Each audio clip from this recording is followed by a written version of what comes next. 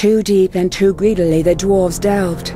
Little did they know what darkness truly lay in the deep places of the Misty Mountains. But Durin would not be dissuaded. Alas, what sorrow and shadows would come to Moria.